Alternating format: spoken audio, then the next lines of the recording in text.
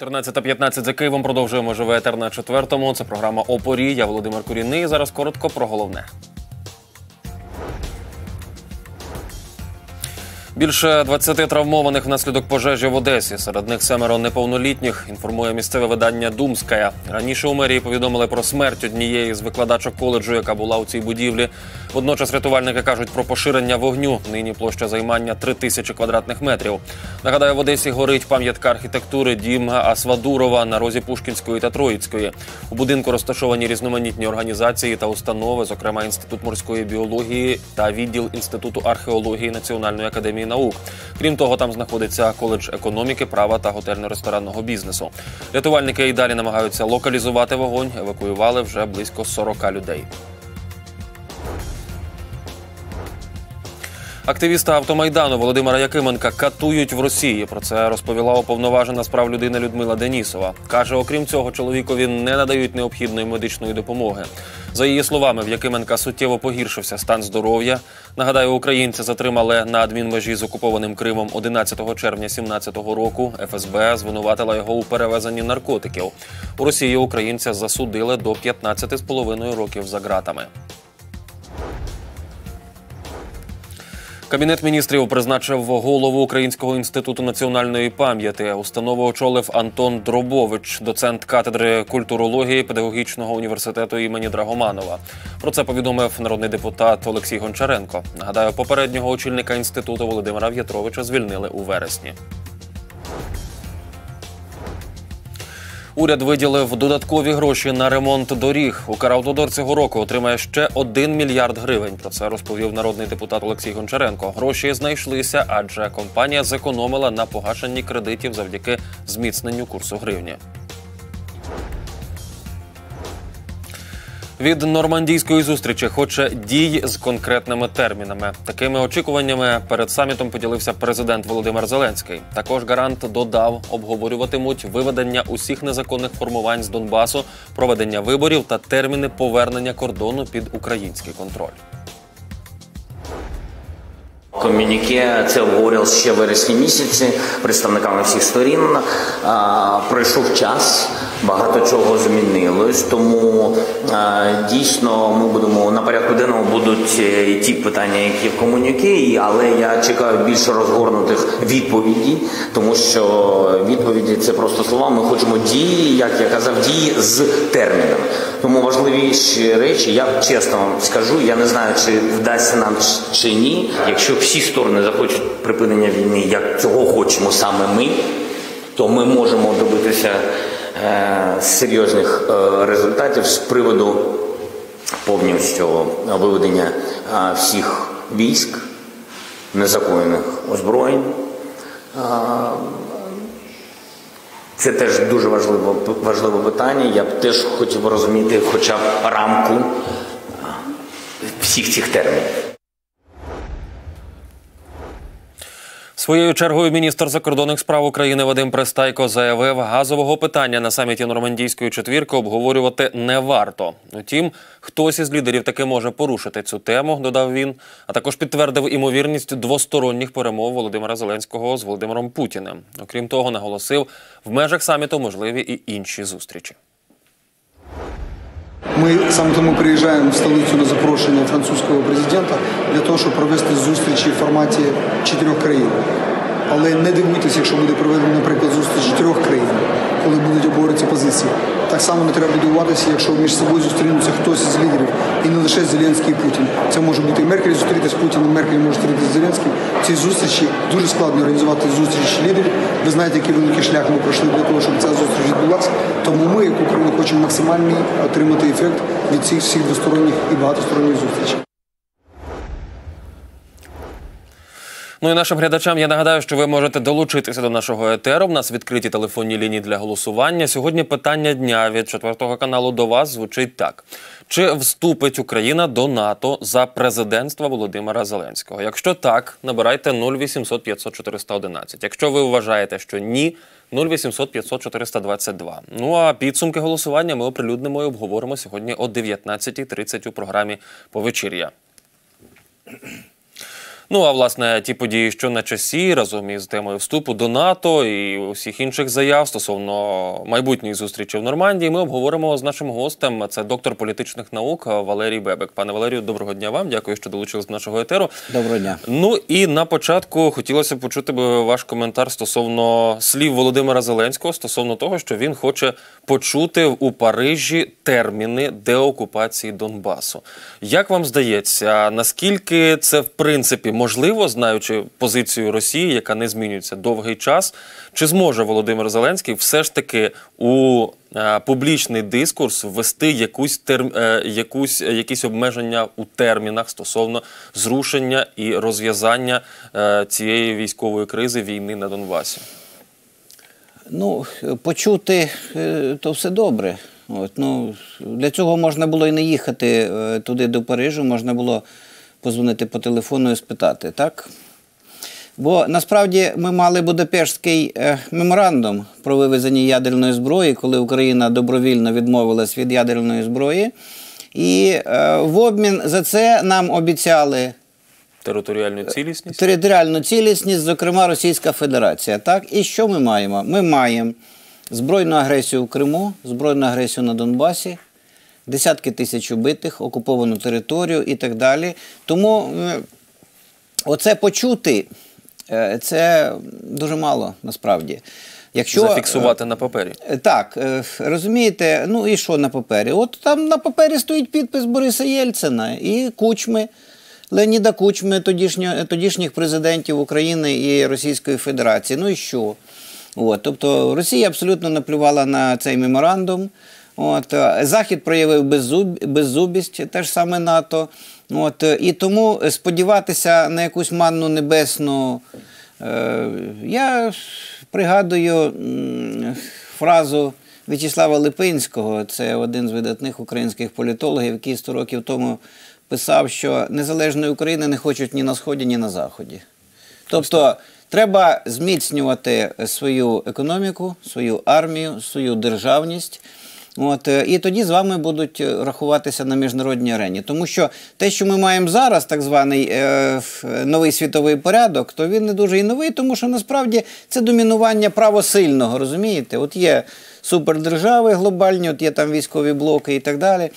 Стосовно е, безпеки європейської, то в принципі єдина Військова організація, яка займається безпекою, це зараз НАТО. Ну, колись бу- була організація Варшавського договору, яка е, значить, померла разом із соціалістичним табором. Табір, от ключове слово, розумієте? Концтабір, табір. От, е, і тому безумовно, що якщо більш нічого немає, то треба очевидно думати, як свою безпеку все-таки у подальшому е, зміцнювати і відповідно е, вести якісь переговори з е, НАТО потрібно. Стосовно НАТО, ми ще поговоримо з вами. Якщо говорити про перспективи майбутньої зустрічі у Парижі, як вам здається, президент говорить напередодні. Він заявляв про те, що Київ прийняв порядок денний цієї зустрічі разом із газовим питанням. Тобто Зеленський проартикулював, говорив про те, що він готовий до обговорення з Путіним питання транзиту газу. З іншого боку, маємо заяви пана Пристайка, який говорить, що не варто було би цього робити. Немає ще єдиної позиції, чи це можливо йдеться про те, що вони обговорять газ е, питання газу у зустрічі віч навіч, а от саме за посередництва Макрона і Меркель не будуть говорити про газ. Як ви взагалі сприймаєте, наскільки нам вигідно чи не вигідно педалювати питання транзиту і використовувати його під час переговорів стосовно питань безпеки, війни і миру? Ну, я не бачу тут проблем. Е, Якщо е, будуть переговори з приводу деокупації Донбасу, і я дуже сподіваюся, що е, Зеленський підніме питання деокупації Криму. От е, те, що там хто там Путін погодиться чи не погодиться, то таке діло. Україна має ставити це питання, тому що у нас окупували е, величезний шмат території, вибачте. От, е, 5 мільйонів людей живе в окупації. Я вже не кажу про біженців, жертви, поранені, покалічені і так далі. Тобто це серйозна гуманітарна катастрофа на європейському континенті. Тому, безумовно, президент України має ставити це питання е, на всіх форумах, там, де є. От, е, якщо там паралельно ще буде питання, е, скажімо, і переговорів по газу, то чому ні, власне кажучи? Я не бачу тут абсолютно проблем. Я так думаю, що тут позиція України сильніша, ніж, скажімо, в питаннях деокупації Криму і Донбасу, тому що є виграні вже суди. Ну, принаймні в першій інстанції, там те, що Аспром подав апеляцію. Тобто, значить, е, ми знаємо, що ну, українська держава в особі там е, Нафтогазу виграла у Газпрому. е, Ті, ті суди, значить, відповідно, Росія поставлена вже в рамки, що раз міжнародний суд, і вони з тим погоджувалися, е, значить, що вони брали участь у тому судовому засіданні, то треба ті гроші повертати. І ви ж бачите, що вони вже пропонують, що типу, ми газом і так далі. Це вже деталі як. Чи вони газом будуть повертати, чи вони живими грошима будуть повертати. Безумовно, що для нас це е, теж питання е, досить стратегічне, тому що є газопровід, який проходить через Україну. От, і якщо там не буде газу, то він технологічно ж ну, все ж ржавіє, все має працювати. Так? З іншого боку, це і якісь гроші в бюджет, які за прокачку цього газу мають іти. Тобто це теж питання е, важливе, хоча безумовно, в першу чергу, питання е, припинення військових дій. е, Питання, е, значить, е, деокупації Криму і Донбасу це для нас питання номер один. Тобто, і, це не мир будь-якою ціною. Тут е, треба дійсно відстоювати свої національні інтереси. Судячи з риторики президента, для нього ця зустріч є дуже важливою, ставки дуже високі, і видається так, що він покладає величезні надії на цю зустріч. З іншого боку, в експертному середовищі говорять про те, що ну не варто чекати якихось е, суттєвих зрушень, якихось поступок з боку Кремля, тому що ну його поведінка, поведінка Путіна, поведінка представників е, так званих ДНР і ЛНР е, не дає нам жодних якихось позитивних е, сигналів. Е, Як ви вважаєте, наскільки обґрунтовано є от подібні, подібні високі очікування в принципі сам у самого президента Зеленського, і що ми будемо робити, якщо нормандійська зустріч ні до чого не призведе і не зможуть домовитись по якихось, хоч трохи суттєвих речах? Ну, розумієте, е, те, що зустріч треба проводити, то тут я абсолютно згоден. Е, А оцей скепсис е, в експертному середовищі він розповсюджується е, частково і на мене в тому контексті, що ну добре, от вони зустрілися. Ніяких підписаних угод не буде. Так, напевно. Ну, принаймні, ми про це не чули, щоб вони готувалися. Тому що Офіс президента оголосив, що у них там є п'ять сценаріїв, вони готові розглядати і так, і так, і сяк. От, ну, це нормальний переговорний процес. Але якщо ми говоримо про результативність, то має бути якась міжнародна угода, яку підписують президенти, там канцлери там і інші. Ну, в кожній країні ж своя форма правління, тому відповідно там президент головніший, там прем'єр-міністр. От, е, потім це має бути затверджено парламентом як міжнародна угода, парламентами тих країн. І тоді ми можемо говорити, що в міжнародно-правовому полі, якщо хтось не виконає оце от рішення, оцю угоду, яка підписана главами держав, от, то тоді ми можемо якось апелювати до якоїсь там судової інстанції, міжнародної громадської думки і так далі. От, е, очікувати чогось такого супер, е, не думаю, що варто. Е, от, тому що насправді там же ж і з того боку, оті, значить, нормандські співагенти, тобто Німеччина і Франція, вони ж теж подвійну позицію з подвійним дном займають. Ну, чого варто, скажімо, заява значить, е, е, Макрона, що Росія не є головний ворог, а тероризм важливіший. От. е, Росія це терористична держава, яка напала на Україну, на Грузію. Значить, е, тобто, е, вам уже мало прецедентів, пане Макрон. От е, те саме ми бачимо Німеччина з подвійним дном, що коли вони так, вроді так всі загальні фрази, там демократія, там бла-бла. А коли Північний потік і вигідно значить, торгувати з, е, з російським е, неофашизмом, то Німеччина закриває на це очі і е, роблять те, що треба, тому що це їм вигідно, розумієте? Е, Тому тут, тут знаєте, як в тому анекдоті про мавпу, вона розумна чи красива. Отак, от точно так же і західна демократія, вона от. Вона то хоче бути красивою, але е, водночас хоче бути і розумною. Е, ну так не завжди буває, щоб і красива, і розумна. І тому, безумовно, є певні е, економічні інтереси Франції, є економічні інтереси Німеччини, є військово-політичні інтереси Північно-Атлантичного блоку, який називається НАТО. Тут же дивіться, е, ситуація зараз не на, не на нашу користь, насправді. Заява Трампа, що мовляв, та я вважаю, що Україна з Росією мають самі, значить, там, типа, договоритися. Заява Макрона, е, значить, е, про те, що Росія вже не терорист. Розумієте? От, е, заява і Меркель, теж там різні були заяви, і в парламенті німецькому в Бундестазі звучали. Е, Тому ситуація зараз не така для нас е, вже сильна, розумієте? Ну і перемовини можуть бути важкими. Я так думаю, що вони будуть важкі і е, цілком ймовірно, що вони будуть безрезультатними. Е, От, хоча треба, треба працювати, треба зустрічатися і так далі.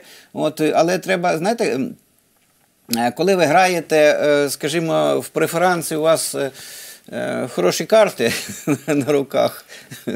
От, е, то ви можете, можете, звичайно, блефувати, але е, якщо у вас там в колоді там 4 короля чи 4 туза. От, е, Погано, коли таких карт немає. так, якщо таких карт немає, у вас шістки сімки, розумієте, Позиції зовсім інші. то, то Пане Валерію, блеф пе- та й не, не зіграє свою роль. Е, Зараз з нами на зв'язку е, є Олена Трегуб, генеральна секретарка Незалежного антикорупційного комітету з питань оборони е, скайпом. Е, Пані Олена, доброго дня вам. Дякуємо, що долучилися до нашого етеру. Доброго ви, дня. Ви представляєте громадянське суспільство України на саміті НАТО, який відбувається у Лондоні, Великобританії. Як обговорювали питання співпраці і наближення України до членства в альянсі? Чи можете повідомити нам якісь подробиці? Ну і власне як сприймають там наші сподівання, які вже мають ну дуже довгий строк, і от е, хотілося б, аби якісь е, чіткі меседжі Україна все ж таки отримувала стосовно і плану дій щодо членства, ну і звичайно членства самого. Е, Так, звичайно, Е, вчора питання на саміті е, України піднімалося не раз. Я хочу просто пояснити глядачам і вам, що відбувається сам саміт. е, Це одна- і та ж географічна локація, але поруч відбувається е, така конференція НАТО Engage, де відбувається така більш неформальна відкрита дискусія, де власне і присутнє громадянське суспільство. Тобто там з'являються і е, генсек НАТО, там з'явився і наш міністр Пристайко, е, міністри е, е, закордонних справ при, прибалтійських країн, Грузії. І от там е, питання України звичайно набагато більше піднімалося ніж от е, на офіційному заході, де взагалі, як ви знаєте, Україна. е, Ну не була представлена, тому що е, станом на зараз е, Угорщина блокує е, комісію е, Україна НАТО, і станом на зараз сам міністр Пристайко нам пояснив, у нього була вечеря. Він заради тільки цієї вечері вчора прилетів з міністрами країн НАТО, але ця вечеря. Носила неформальний характер, тому що е, Угорщина розблокує тільки після змін е, в закон про освіту. От так, от е, на цьому заході, який називається НАТО Engage, там генсек е, НАТО Стонтелберг сказав, що рішення по тому, що Україна буде членом НАТО, було прийнято ще в 2008 році, так на Бухарестському саміті, і це рішення нікуди не ділось. Воно присутнє, і Україна рухається в тому напрямку. Але звичайно, е, що багато. Власне, модераторів дискусій е, запитували українців і взагалі е, грузин е, також, бо Грузія в схожому зараз становищі, як ми, чи ми не почуваємося зрадженими, чи ми не поч... з боку НАТО, чи ми не втратили терпіння по відношенню до НАТО, бо ми знаходимося за дверима, незважаючи на те, що нас запросили більше ніж 10 років назад. Але реальність є, яка вона є. І тому навіть міністр Пристайко е, зазначив, що е, ми вдячні е, тим партнерам з НАТО, а саме Франція і Німеччина, які власне зараз надають нам майданчик для переговорів в Парижі на наступному тижні. Тому що ці переговори, навіть якщо вони будуть безрезультатними, важливо, що вони вперше за три роки відбудуться, і що е, власне наші партнери з країн НАТО нам допомагають вирішити нашу ситуацію з Росією, нашу війну з Росією таким чином. Олено, як вам здається, причиною того, що ми досі не маємо плану дій щодо членства, є лише позиція Угорщини, чи є низка питань і низка інших факторів, які впливають на ну таку нерішучість альянсу стосовно власне членства України? Позиція Угорщини це лише остання е, така деталь, яка е, ну ось е, буквально е, рік тому так е, розвинулась, але ж е, ну загалом ну, головна е, звичайно е, обставина це е, Росія, роль Росії, Е, Росія протидіє членству НАТО в НАТО України і Грузії, незважаючи на те, що ці країни повністю готові і дуже прагнуть туди е, потрапити. Їхнє населення підтримує вступ до НАТО. Е, Ну і неготовність самого спосіб, альянсу. Ну, протидія, політична протидія. Росія дає зрозуміти країнам, які є членами НАТО, що вона дуже виступає проти цього, і е, країни не хочуть йти на загострення стосунків з Росією, тому що е, і та ж Німеччина, ви знаєте, має стосунки з Росією. Побудовано буде Nord Stream 2. Е, е, ну е, і та ж Франція, вже Еммануель Макрон. Тобто, всі ці партнери мають стосунки з Росією, навіть США має стосунки з Росією. США за е, президентства Обами. Якщо ви згадаєте, оголошувало перезавантаження, нажимало на кнопку, так перезавантаження стосунків з Росією. Тобто, всі намагаються якось ці стосунки з Росією побудувати, і вони розуміють, що е, членство України в НАТО її зробить дуже е, агресивно, і вони не зможуть ніякі стосунки будувати з Росією. Тому е, відповідно це є головним е, чинником. Але і ще також, е, звичайно, Україна сама не проявила е, внутрішні такі реформи і такі здобутки, які би дали аргумент, чому ми вже готові до членства в НАТО, тому що НАТО це союз не тільки військовий, а політичний. І е, ми не побудували, на жаль, в нашій країні такий рівень демократії, такий рівень верховенства права, е, який би не лишив ніяких питань до нас, як до країни повністю готової влитися в сім'ю, як вони називають, що це сім'я цих 29 е, членів е, країн альянсу. Чи говорили взагалі в кулуарах, чи цікавляться там в Британії власне і делегати, які були присутні на тих заходах, а, майбутньою зустріччю у нормандському форматі за участю президентів а, власне канцлера Німеччини, президентів Росії, України і, і Франції? Ну і чого очікують, і як взагалі оцінюють ті меседжі і сигнали, які отримують з України від Зеленського?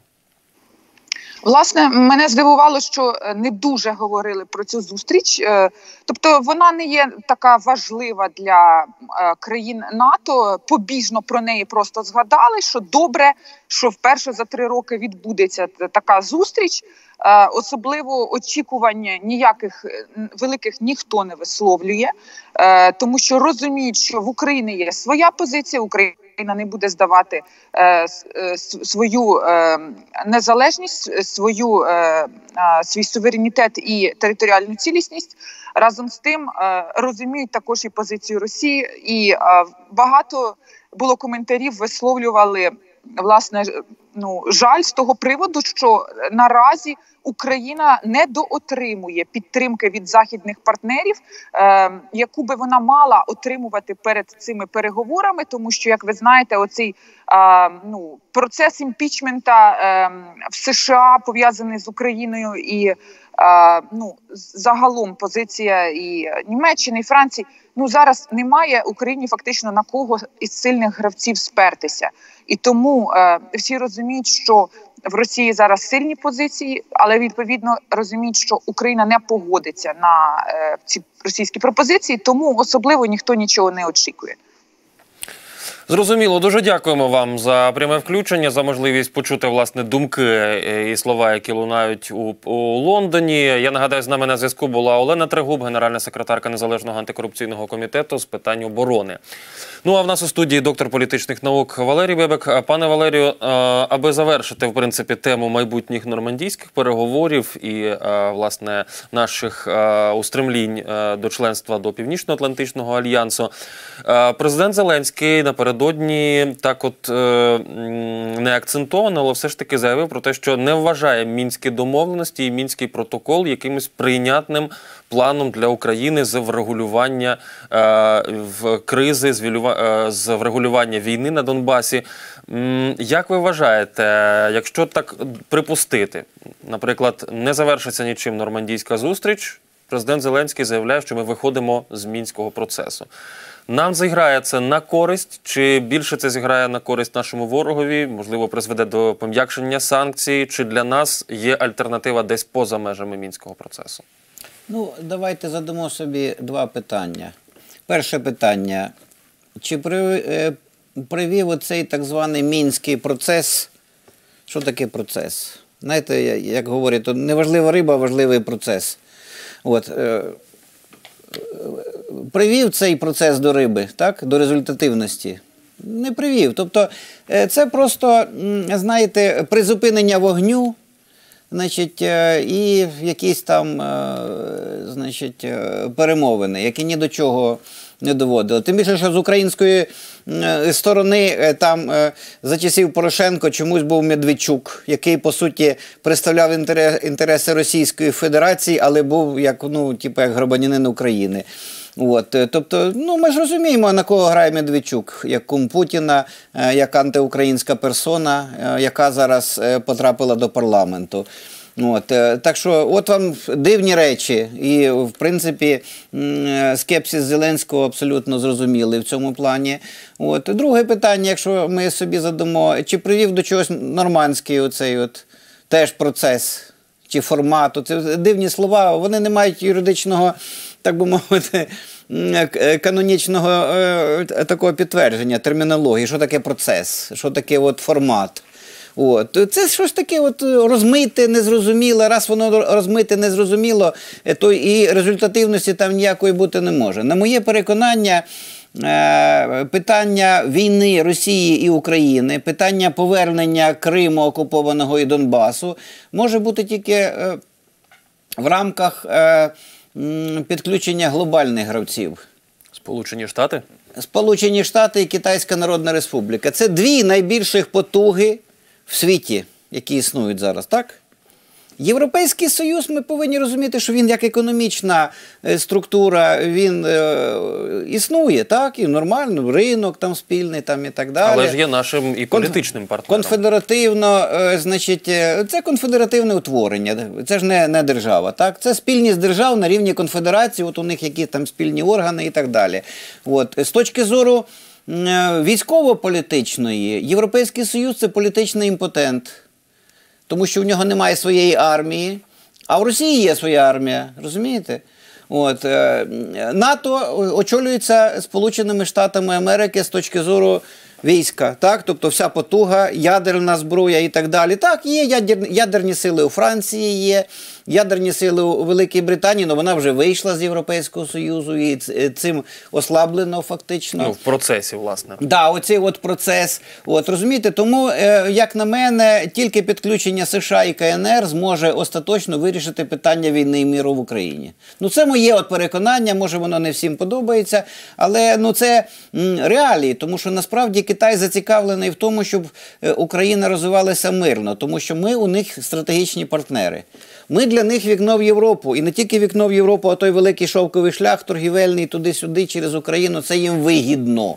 Тому а е, е, китайці зараз мають дуже багато вільних грошей, і вони готові вкладати в економіку України. Ну і ми знаємо зрозуміло, про що в умовах війни придбати Володя, Моторсіч. Вже Ну, власне це, це теж зрозуміло. Але тут, якщо нам вдасться, якщо українській владі, українській дипломатії вдасться долучити китайських партнерів сюди, у них теж стратегічні партнерства із Росією теж є. От і це треба розуміти, що є національні інтереси Китаю, які китайське керівництво відстоює.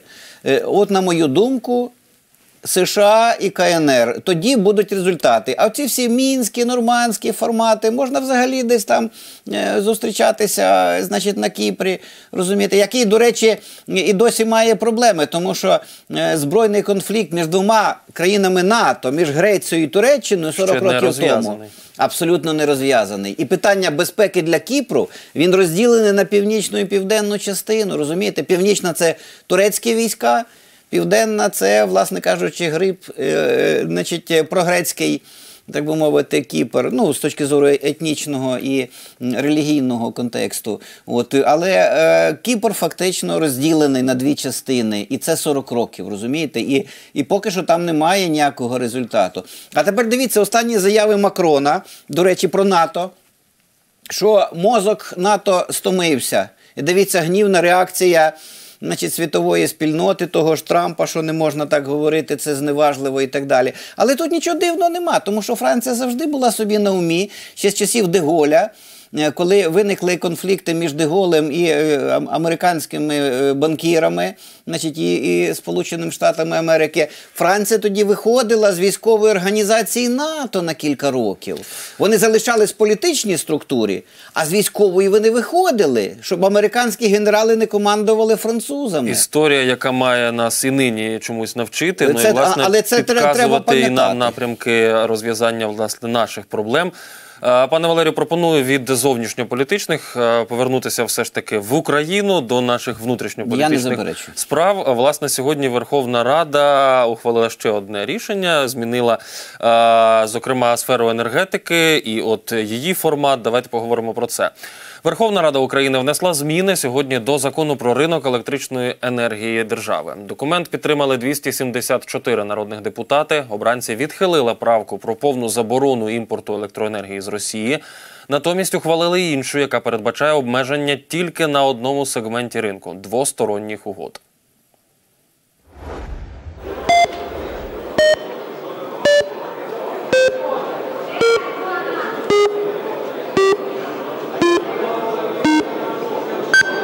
За 247, з- 240, 274 рішення прийнято. Закон прийнятий в цілому. Ухвалений законопроєкт містить ті інші важливі норми, зокрема, наділяє регулятора у сфері енергетики правом обмежувати ціни на ринку, а також визначати вартість, за якою електроенергію відпускатимуть ТЕЦ на час опалювального сезону. Тарифна комісія також зможе зобов'язувати виробників електрики подавати заявки на продаж світла на добу вперед. Це унеможливить створення штучного дефіциту на ринку. Документ викликав бурхливе обговорення. Учора законопроєкта скерували до Єврокомісії, щоб там перевірили, чи не порушує він угоду про асоціацію між Україною та ЄС. Про це повідомив віце-прем'єр Дмитро Кулеба. Не ухвалювати документа також закликала американська торговельна палата. Там зазначили, законопроєкт де-факто скасовує вільний ринок електроенергії. Ну, от маємо такі контраверсійні оцінки, пане Валерію. Е, Які би ви плюси і мінуси ви окремили взагалі цих е, е, нових правил, новел, які заклали народні депутати в наш, в наш і так не безпроблемний ринок електроенергії? Ну, давайте мухи окремо, котлети окремо. Значить, насправді у нас е, немає і найближчим е, часом не буде ринку електроенергії. Що таке ринок? Це вільна конкуренція. Ви живете в Києві? Так. Ви можете собі е, вибрати постачальника електроенергії? Ні. Але ринок вже запущений. Нема значення. Значить, ринок це коли ви прийшли в магазин, от в цьому магазині буханка хліба і в цьому буханка хліба. І ви вибираєте, де краща якість, де краща ціна і так далі. Насправді у нас монополісти, олігархічні монополісти. Всі обленерго скуплені, 60% скуплено російським бізнесом, е, решта українськими олігархами. І тому всі ці обленерго, теплоенерго там і всякі ті різні назви. Кого ви, до речі, відносите які ТЕЦ до власне до підконтрольних е, російському бізнесу? Е, Це, ну, це в інтернеті є, значить, ця інформація є. Е, Значить, е, якщо цікаво, то можна в Google забити і подивитися по власниках, навіть е, по реєстрах, які фірми володіють і хто власники в тих фірмах. Це ще було за кучми. Коли всі обленерго були розпродані, розумієте? От, тобто на дві третини наші обленерго належать ворогу, з яким ми зараз воюємо. Це перший момент. Значить, у нас олігархічна економіка. У нас дійсно 4-5 сімей, кланів керують, зокрема, і енергетичною сферою. І тому ринку немає як такого. А те, що ми зараз бачимо, що окремо. Коломойський взяв і протягнув через оту поправку Геруса, що можна закуповувати електроенергію в Російській Федерації. Завтра, е, значить, поміняється ситуація, буде вигідніше, вони ще звідкись будуть. Е, Тому насправді все це не на користь українського споживача. І що таке ринок? От, е, на ринку, якщо ви торгуєте овочами, то там немає ніякого обмеження, по суті. Якщо ти е, на свій огірок поставив ціну, значить там 300 гривень, у тебе той огірок ніхто не купить, розумієте? А коли у вас один, ну, одне Київенерго, чи теплоенерго, чи щось там інше, от, то у вас варіантів немає, розумієте? Тому оце все ігри. Оці всі закони з голосуваннями, з урядовими, значить, розумними е, експертами, це все маніпуляції. Нас з вами дурять. Насправді ніякого ринку немає. Тому що ринок передбачає конкуренцію, і ринок передбачає існування кількох гравців на цьому ринку. А тут два гравця: споживач і олігарх, який володіє. Нацкомісія не виконує свою функцію регулювання, зокрема і в інтересах споживачів. Не виконує, не виконує, і нацкомісія є інструментом олігархів. Ну, подивіться, кого призначив Порошенко, е, значить, е, Ну, керівником. пана Вовка ми пам'ятаємо. Кондитера з фабрики Рошен, тобто людина, яка до енергетики зовсім ніяким чином. Зараз хто у нас там? Юрист-міжнародник? Ну, Розумієте, і ну, є це так, питання я- в цілому до конституційності цього органу. Пане Валерію, пропоную проблеми, продовжити за хвилинку, бо зараз з нами на прямому телефонному зв'язку є економічний експерт Борис Кушнірук. Пане Борисе, доброго дня вам. Дякуємо, Вітаю. що долучилися до нашої дискусії. Ну, от говоримо про те, що Рада власне ухвалила сьогодні зміни до закону про ринок електроенергії. Як вони вплинуть на цю сферу, і взагалі, от простою людською мовою, що сьогодні сталося, які плюси і мінуси ви могли би виокремити з цих е, нововведень?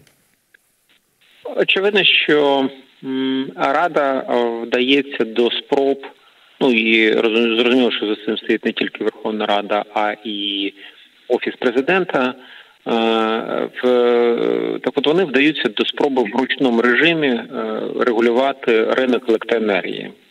Замість того, щоб створювати більш е, більшу конкуренцію на ньому і сприяти цьому конкуренції, вони хочуть в ручному режимі контролювати ціни на електроенергію, причому без жодної відповідальності за результати фінансові результати діяльності потім підприємств, е, які вони збираються регулювати.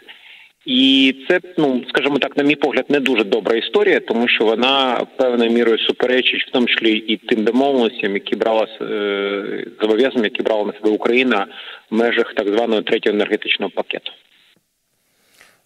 Це з негативу. З плюсів щось є, от з власне з тієї інформації, яку нині маємо. е, Як вплине це на нас, споживачів? На поточному в поточному режимі е, е, це для споживачів жодним чином не вплине, як для е, домогосподарства, тому що ціни на електроенергію для населення вони контролюються, регулюються офіційно. А от для комерційних споживачів справді ціни можуть знизитися. Хоча це буде робитися фактично за рахунок е, більшої дестабілізації функціонування вже виробників електроенергії. Причому е, все ж таки залишається механізм доступу на ринок електроенергії е, Росії через Білорусь. Там це не прикривається. Причому навіть Росію дозволяється до ну. Не виключається можливість доступу на ринок електроенергії за умов, якщо виникнуть там якісь ризики і так далі. Якось ми обходились без цього останні 4 роки і нічого страшного не було. Але це відображення лобівання інтересів пана Коломойського, і це вже не є великим секретом. Те, що ви відхилили е, депутати е, поправку про повну заборону імпорту електроенергії з Росії, як ви оцінюєте такий крок і таку норму? Е, Тому що це не відповідає інтересам Коломойського. Коломойський фактично головний бенефіціар покупки електроенергії в, з Росії. Не обов'язково напряму через там це можна робити через Білорусь. Просто потрібно зрозуміти, що у нас е, обсяг потужності е, електростанцій значно більше потреб внутрішніх. І для того, щоб ці електростанції внутрішні українські, або їх потрібно закривати повністю, або ви маєте забезпечувати принаймні певний рівень їх е, виробництва для того, щоб вони покривали хоча б умовно постійні витрати. Ну на, на те, щоб ці підприємства взагалі е, знаходилися в працюючому режимі. Так, от, е, е, коли ви допускаєте на ринок російську електроенергію, до того ще і робите так, що це робиться в ті моменти, в ті е, там години е, доби, коли електроенергія найдорожча, Тобто вони заробляють на тому, що може продавати його за найдорожчим тарифом, а при цьому українські е, виробники електроенергії залишаються без можливості це робити, бо це вже знаходиться в в руках фактично е, ну, регулятора енергосистеми.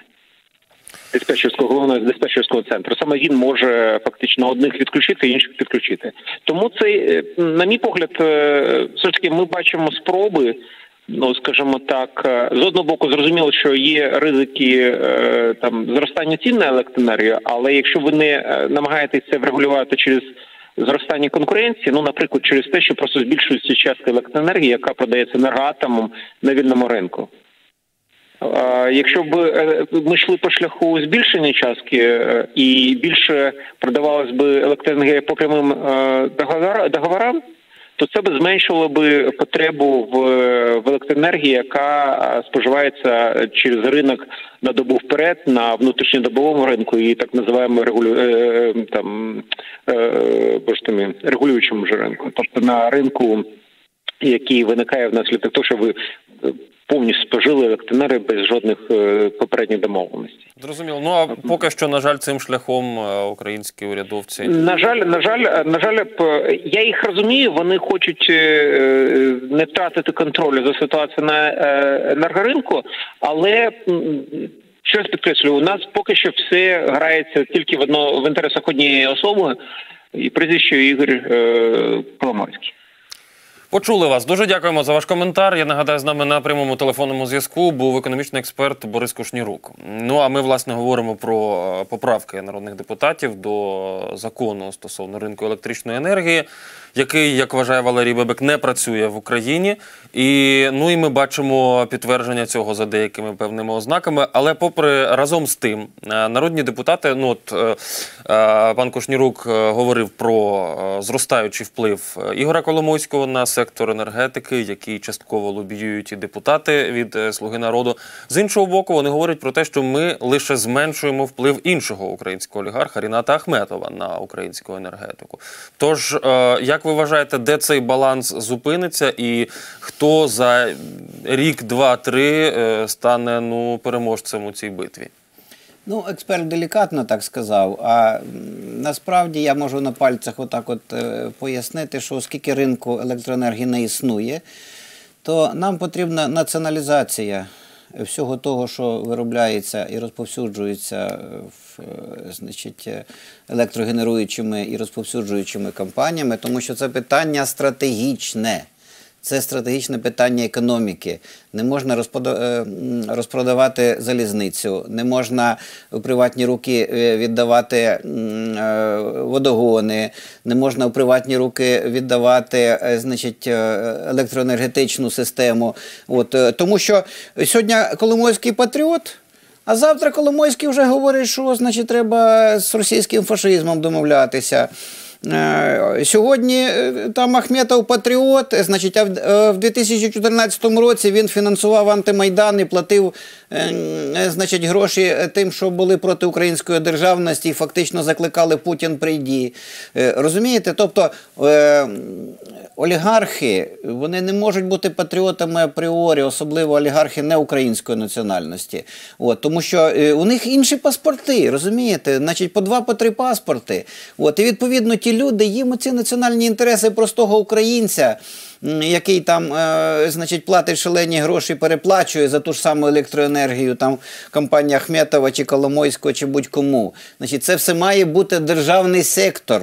Між іншим, в Європі, в тій же Швеції, державний сектор 60%. Прийшла ця команда і розказує, що землю продать. Південмаш, Харківський е, танковий тракторний, ну в смислі, це ж одне і те саме, ми розуміємо. Продать про заводи мені що. Все продать, знаєте, продати, продати кожен дурень вміє. Значить, А розумний уряд, розумна влада має розпорядитися грамотно тою ж самою землею, має розпорядитися грамотно промисловістю, особливо військово-промисловим комплексом. Енергетика це стратегічний сектор української економіки, особливо в умовах війни.